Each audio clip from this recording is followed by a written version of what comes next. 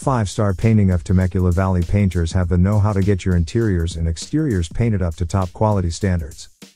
Most DIY paint jobs fail because surfaces weren't prepared properly, primer was neglected, and cheap materials and paints were used.